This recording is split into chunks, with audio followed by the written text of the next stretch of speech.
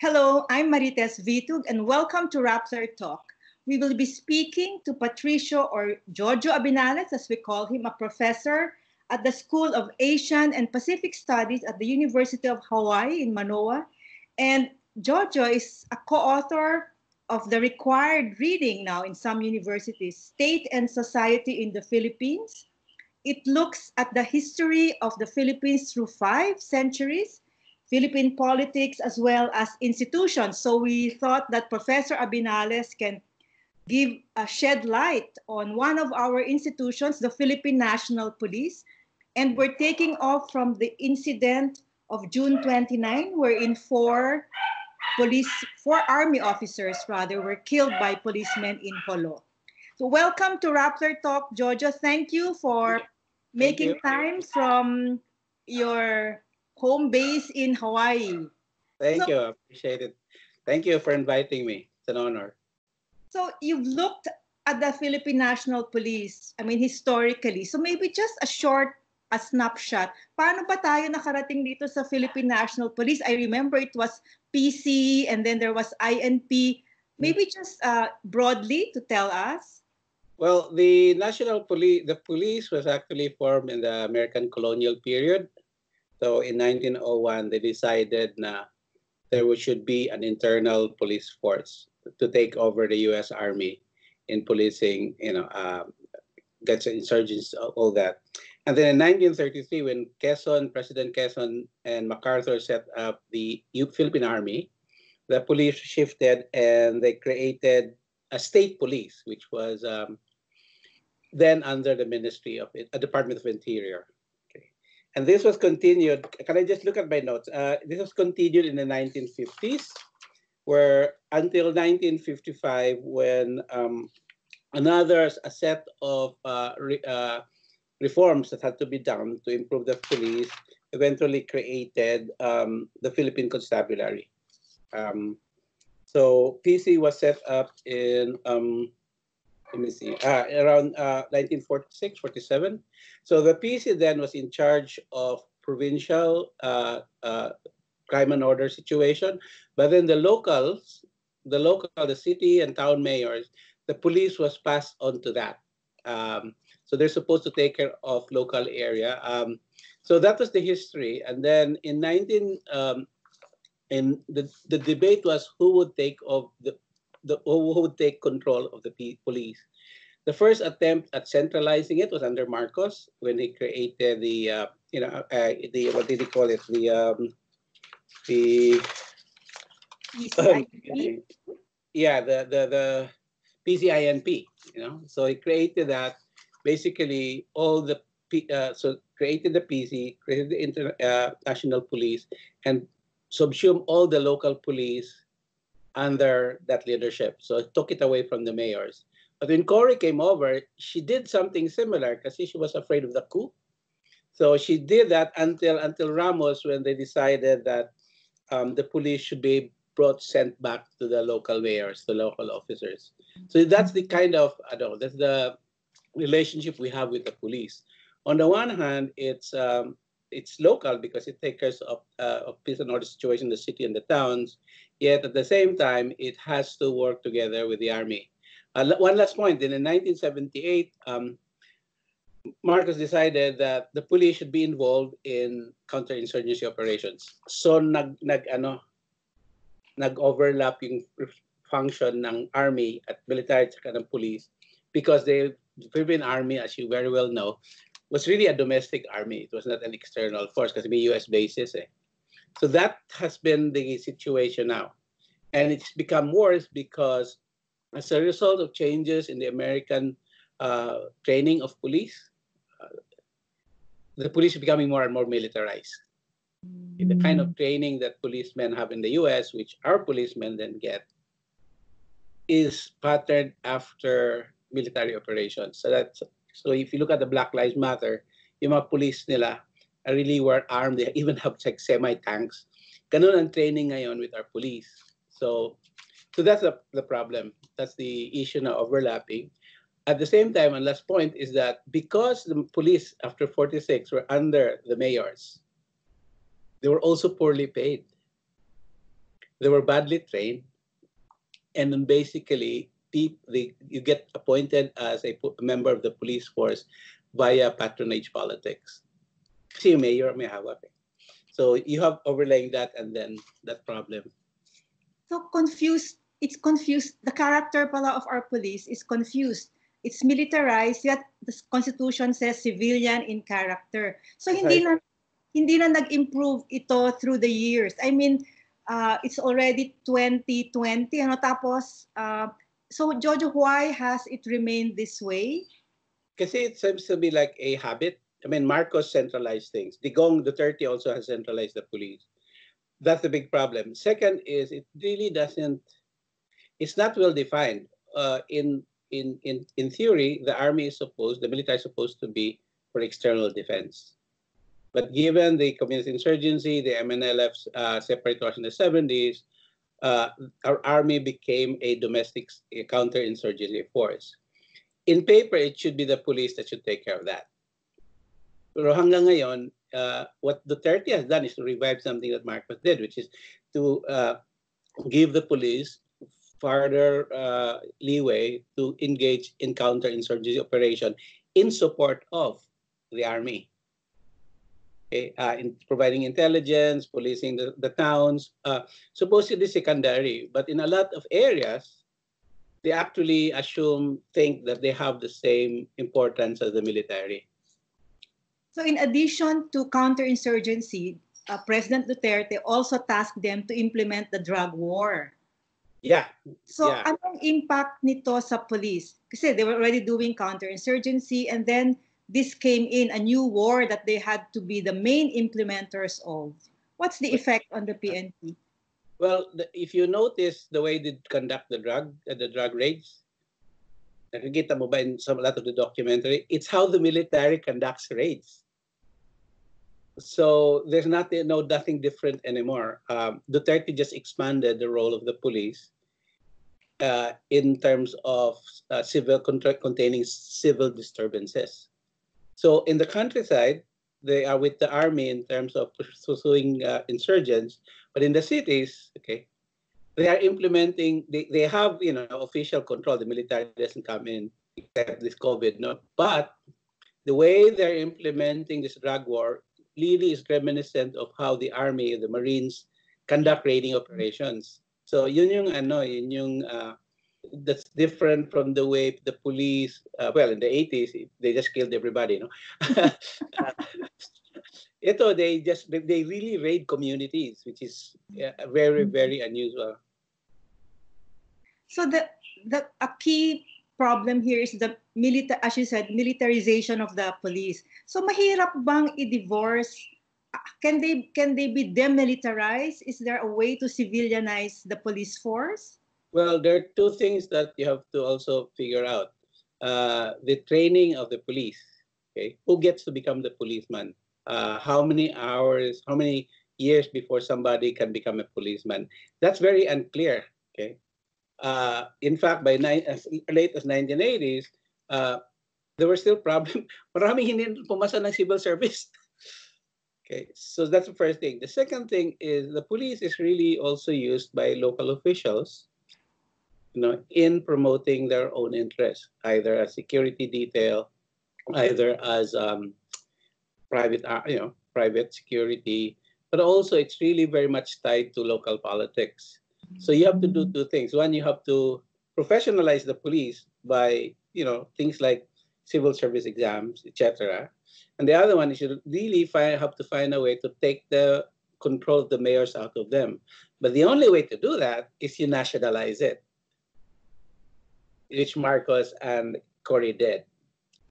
But then you cannot sustain this because the mayors, if you want to run for political office nationally, you need the mayor's support. And mayors would always say, ibalik niyo sa amin yung police. So we're going back and forth between uh, control of the police. The Americans thought that the local officials, when they become trained and well educated, etc., not corrupt, they would take care of the police but then Marcos and then Cory and Duterte said, no, cannot be. You have to control it. What Duterte has done is a mix of Marcos and Cory, which is still allow the mayors to control the police force, but then Uh, this Cory pala ito, Cory. Under Cory, as she said, the mayor should be, uh, the police should be reverted to the mayors unless, except for emergency situations. So it all boils back to 86 and in, in, 87 when uh, Mrs. Aquino reorganized the police force. So let's look at the situation in Jolo. Is this the first, would you know, Jojo, of any other incident or similar situation wherein police killed uh, military officers, their brothers in arms? Parang, the EDSA. Ah, well, you know, the one in Channel 4, I think, the one in ABS-CBN now, I think the ones who were uh, trying to neutralize the sniper were police, members of the police force. Um, well, the other one was Mama Pasano, you know. Mamasapano. Yeah, wherein the police came out with their own strategy independent of the military. So this is uh, uh, that's what's scary now, Marites. If you look at Jolo, it can be actually traced back to Mama Pasano, where the police could say, okay, we'll develop our own strategy. We won't inform the army. Mm. So you, you mean that uh, this the, the, killings in Jolo in June last month really are rooted pala in this uh, strategy of in this uh, tactic of the police to well, do the, the, yeah the unclear relationship between the military and the police vis-a-vis the insurgency and i think if you go by Mama Pasano, there's very little sharing of intelligence between the two, the force, the two services. Um, uh, in part because I think after the 80s, leadership of the police uh, was coming from the Philippine Police Academy. Hindi na, PMA. It was easier in the past because PMA officers could be appointed to police uh, uh, police uh, police positions, senior positions, which created tension between the two. But now na, na ongoing na yung police academy, they don't need PMA officers anymore. So yung link at the top level through mistah and class is not there. Is not is a is weaker now compared to the past. So uh, again, of course, the National Bureau of Investigation is still looking uh, looking at what happened, but. Uh, do you think parang it also has a layer of local, as you said, local politics, these killings yeah. in law? If we cannot just look at mm-hmm. it as, uh, as um, on a national level, there is a layer of Sulu politics. What do you think? What are your thoughts on this?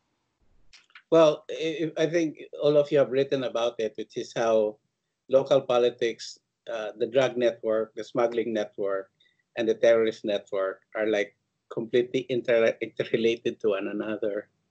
So they were looking for an Abu Sayyaf operative. Okay. We actually don't know who this guy is. I think we should pursue this further. And most likely, there must be a relative in the police force. But if you look at Rido, when yeah. family clash, it's different guy. Uh, people, the ones who clash come from different services of the military and the police. So there's that angle, no? Uh, what exactly uh, how what is exactly the relationship within the police and the military vis-a-vis intelligence on the Abu Sayyaf?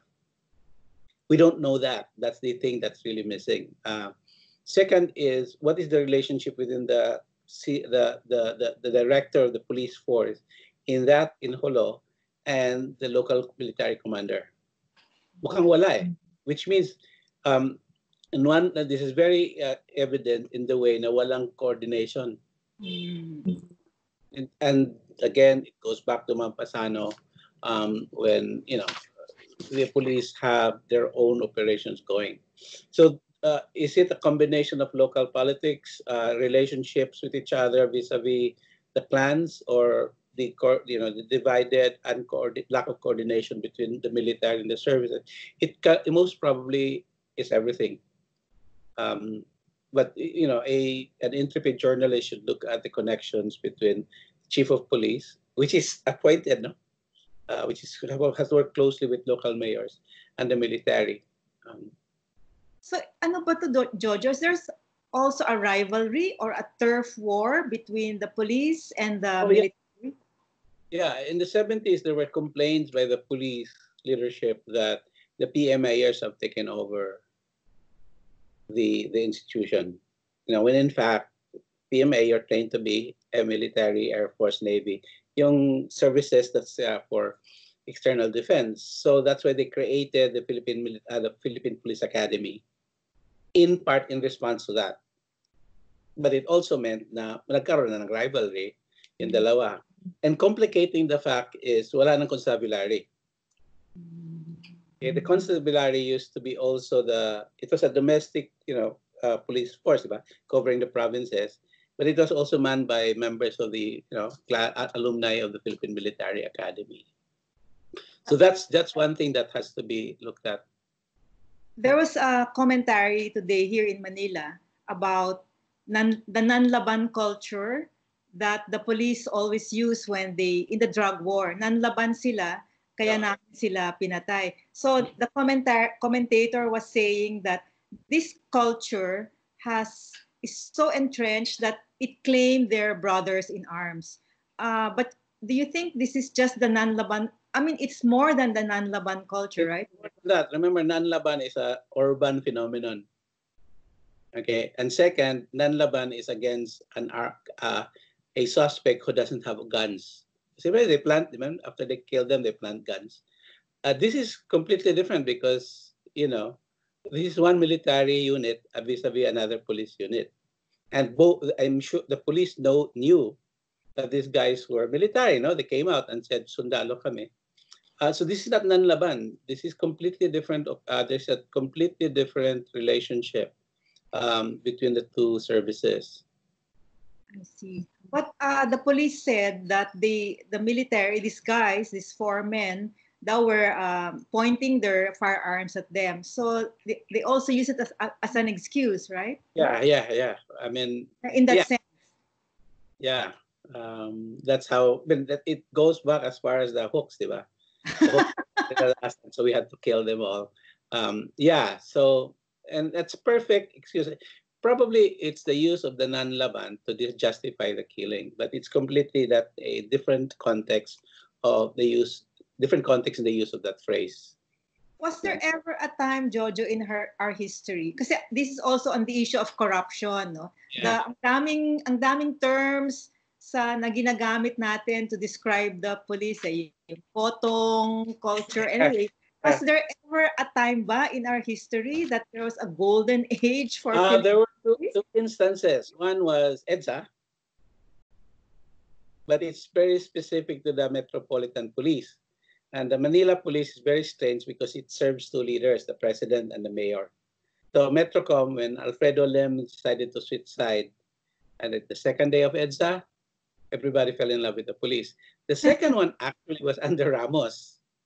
Remember Ramos purged the Philippine National Police leadership because of the kidnappings and everything and changed everything and Im actually implemented a couple of things, including merit exams.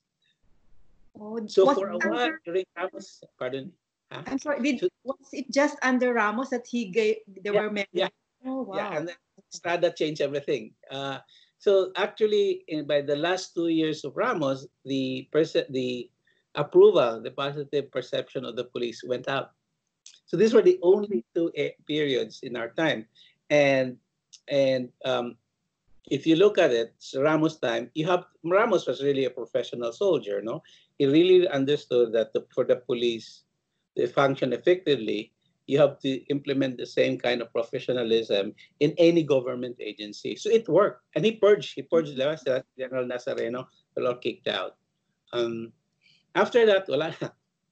So, lack of continuity. Actually, under ERAP, you said he's he uh, did not continue any of this. No, well, so he no, didn't know how to go, govern. I mean, so after ERAP, Gloria Arroyo, in her nine oh, years, what did she do to reform the police? She, no, she she just sent it back to the local uh, the mayors. I mean, this, this is a president who relied mainly on local alliances. So, so Ramos was the only one who really looked at it from above. Um, after that, we're back to the same ritual now, but with the police responsibility expanded. Okay, and Noy Noy, uh, PNoy, actually, because of Mampasano, showed us the extent to which this, you know, kind of tension, this kinds of independent autonomous actions have reached a, a certain point? We're after a Malaysian terrorist. It's a military operation, but they did not. So, so just one more thing, the, the yung response, rapid response team ng police, diba, yung the ones that were sent to Mampasano, that's a military kind of unit.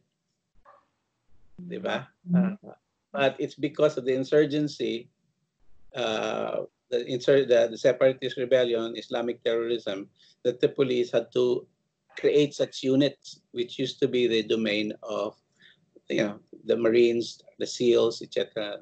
Yeah. So, uh, on another issue, the corruption is said to be embedded in the Philippine National Police. Is it is it really that widespread, or is it the same in other institutions? Are we just exaggerating corruption in the police? No, actually, as early as the 1950s, the United States, the Philippine government asked the, uh, a, a, team from the United States to do a survey of the state of the Philippine police force. The same problem, corruption, inefficient system, lack of training, lack of leadership are the same ones you can see now. And one of the things that's fascinating is consistent. So there was one in 50s and there was another one in 60s that Marcos, uh, uh, um, uh, special survey that Marcos did consistently it's the low pay. Uh, there was even in the 1950s problems like, um, let me look for it, okay.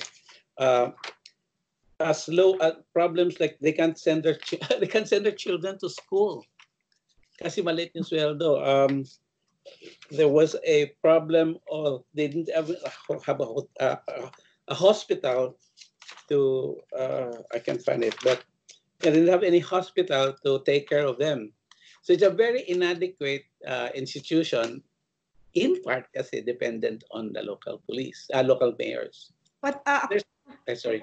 Under Duterte, uh, di Jojo, he, the president, increased, well, approved the increase of salaries of police. Yeah. yeah. So what is the, so dapat, one of these, uh, at least dapat mag-improve na yung police. So hindi pa rin. Uh, well, sure. This was 1950.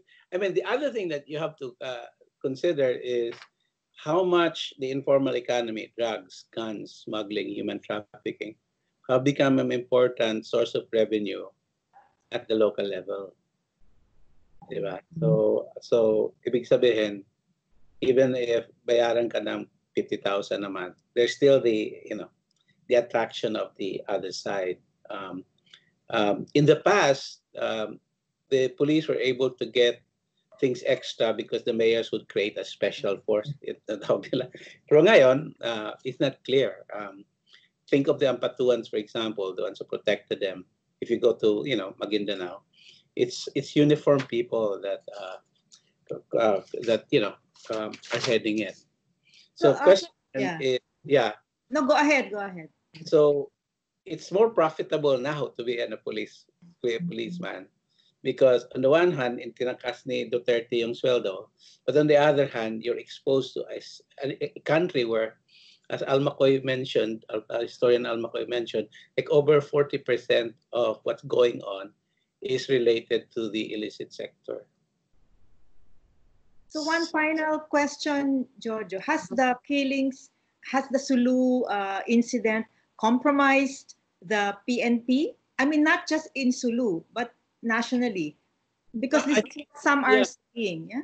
I think this is upping the ante. Remember, in again to go back, Mama Pasano, the police had their own strategy. Okay, and then that kept quiet. They kept quiet to that because of the controversy. But this one is really upping the ante because uh, it's the services now going after each other. The only time I, I forgot, the only time that there was a confrontation within the constabulary and to a certain extent the special the army was in 1950 when uh, Governor Lacson of Negros you know, used the police and his private army to terrorize everybody. And Quirino was forced to send the police, uh, the, the PC, and then later on Magsaysay to neutralize Lacson. So that was the only time that the clash in dalawa. Um, we don't know, but maybe there's you know petty clashes going on, but this one is really big in part because the video. Yes, and also the president himself went to Zamboanga, spoke to the nine policemen, and the Mm. police then separately spoke to the military. So he's really giving it a lot of focus. And he said that siya lang daw yung presidente na ganun ang pagmamalasakit at suporta para sa armed troops. Well, you have, Historically, you have to hide the fact that you can't, you know, you've created a situation where you've armed these two groups separately. The, you know, the only thing is to be able to coordinate it, but it's absent there. Well, you know, it's a it's a uh, it's a publicity campaign. You go talk to the nine policemen and the military, and you know, his uh, spin spin masters would say, "Well, see, it really takes care of it. It doesn't solve the problem though of overlapping, you know, uh, uh, overlapping missions." In fact, what's worrying a lot of scholars of the police now is how the police has become increasingly militarized. And you're not even talking of the Philippines, you're talking of the United States and all police, uh, the way police training is going on now among different countries uh, that send their kids, their officials to the US. It's, you know, it's quite disturbing. why is this phenomenon? Is it not? I mean, you said it's not just the Philippines, no? It's even also in the U.S. Yeah, there's a journalist that wrote about the militarization of the police. Um, and um, what he's recovered is that a lot, because of Afghanistan and Iraq, there's a lot of surplus equipment that the military had to bring back. And who do you give it to? They give it to the police. But in giving back these resources, you have to also provide these folks training. You know, how do you train to use a tank or, you know, and that the surplus of these resources plus the fact that they have to be trained it's a, it's a military type of training. So if you look at the black lives matter protests and how the police have been treating them you see something similar to what uh, you know some of the uh, tactics that the military use is very much similar to you know the police use is similar to what the military has been doing. So there's a militarization going on um, in the us and what's interesting to look at is the, the, the police, the junior officers that we send it to say, uh, you know, the police academies in the US, do they create, you know, imbibe the model and bring it back? That's that. I mean, the, this book just came out. Um, I'll send you the title later on. Oh, it's fascinating, Jojo. Really fascinating to have spoken to you. At least we have zoomed zoomed out of the issue and presented the deep-rooted problems. No, so we hope you, yeah. to talk to you again and to our viewers. Join us in future uh, conversations. And uh, this one with Professor Abinales, we talked about the history, deep-rooted uh, problems facing the Philippine National Police. And hopefully in the future, we will look at other Philippine institutions. Thank you so much. And thank you for you know. for It's been- we, we- we have taken much of your time while you're preparing dinner there in Hawaii. okay, Sorry, goodbye. Multitask. Thank you, Jojo. Thank you. Okay, bye bye.